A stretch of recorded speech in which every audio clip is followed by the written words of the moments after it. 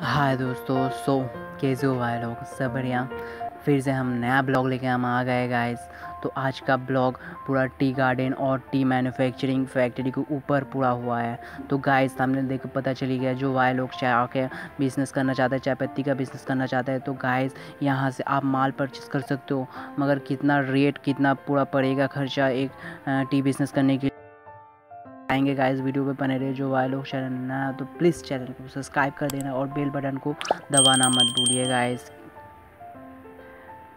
Hi guys so जो हम बात बोलने वाले थे गाइस चैनल में नया हो तो प्लीज़ चैनल को सब्सक्राइब कर लेना और टीवी बिज़नेस के बारे में पूरा बताएँगे वीडियो को एंड तक देखते रहो और अच्छा लगा तो लाइक करना और अच्छा नहीं लगा तो डिसलाइक भी कर सकते हो गाइस गाइस आज हम आ गए आप लोगों के लिए असम पे गाइस ये जो आप टी गार्डन देख रहे हो, ये असम में है गाइस तो असम से ये टी उत्पादन होता है सबसे ज़्यादा इंडिया पे असम में चाय उत्पादन होते हैं, आप लोगों को तो पता ही होगा.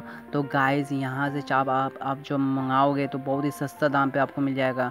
एक सौ रुपया से यहाँ पर चाय पत्ती स्टार्टिंग होता है गाइस और हर किस्म का यहाँ पर चाय आपको मिल जाएगा गाइस और ये जो गार्डन देख रहे हो, यहाँ पर भर भर के आपको चाय आराम से एकदम अच्छा क्वालिटी का चाय यहाँ पे मिलता है और एक चाय के बिज़नेस करने के लिए मिनिमम आपको बीस हज़ार से लेकर तीस हज़ार इन्वेस्ट करना पड़ेगा। और गाइस यहाँ पे आप डीलरशिप भी ले सकते हो गाइस ये फैक्ट्री लोग जो है तो ये लोग डीलरशिप भी देता है। मिनिमम आपको इन्वेस्ट करना पड़ेगा डीलरशिप लेने के लिए।